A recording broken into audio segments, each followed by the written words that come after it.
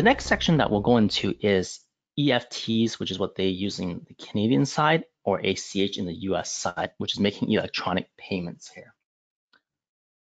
So the first error or first tip that we typically commonly see is we have to make sure that the last remittance advice number is set up. In this case here, we have this one that says EFT 002.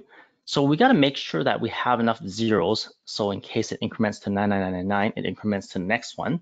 And once the remittance has been paid, it will increment to the next number here. I'm just going to go into my environment here, go into my bank accounts, go back into checking here. And as we mentioned before, it's really important to have these items filled out, which is your last check number, last remittance. If you don't have a remittance here, you will get an error message and you won't be able to process your ETF transactions or EFT transactions.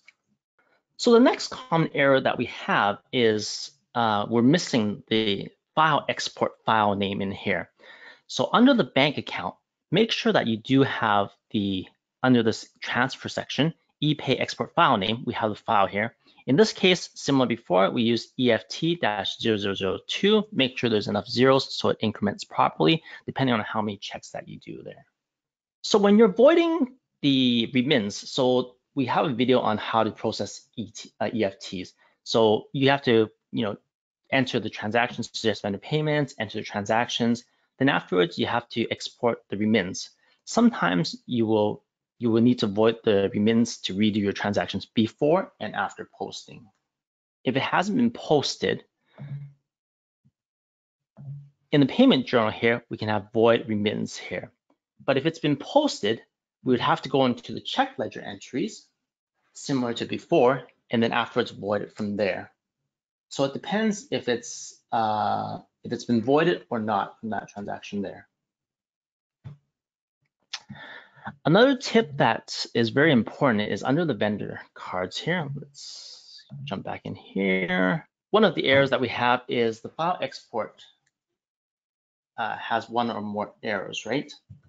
And what happens is a few things that we need to check in our setup. So in the vendor here,